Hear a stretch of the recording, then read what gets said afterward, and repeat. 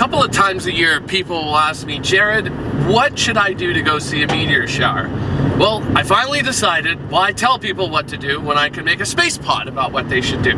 And this is your space pod for December 18th, 2015. If you're planning a trip to go see a meteor shower, you're going to have to do a lot because one of the main things you need to do is find extremely dark skies. And here in Southern California, we're very, very lucky. I've thought of a place that I would like to go to. That would be Joshua Tree National Park. It's out in the middle of the Mojave Desert and it is quite big.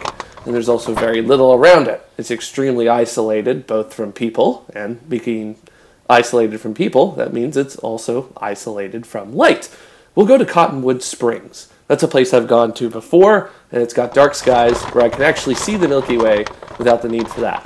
So let's put this away, somehow start up the car, and now we're gonna get the heck out of here. So we're on our way out to Joshua Tree National Park, which is about three hours east of Los Angeles. And uh, it is a bit of a drive, but for a meteor shower, you want to go to the darkest skies possible. So in order to do that, you got to get out of town. And here in Southern California, when you want to get out of town, you go to Joshua Tree National Park. So through the magic of video editing, we'll show you a little bit of the drive out there, but then we'll also get straight to the campsite that we'll be at. So see you in like 30 seconds. One of the things you need to take into consideration when going to view a meteor shower is that you might be heading out to an isolated place. In the case of Joshua Tree, it's, as I said before, extreme isolation. You literally have to bring everything with you, and in addition to that, it may not actually be easy to get where you need to go.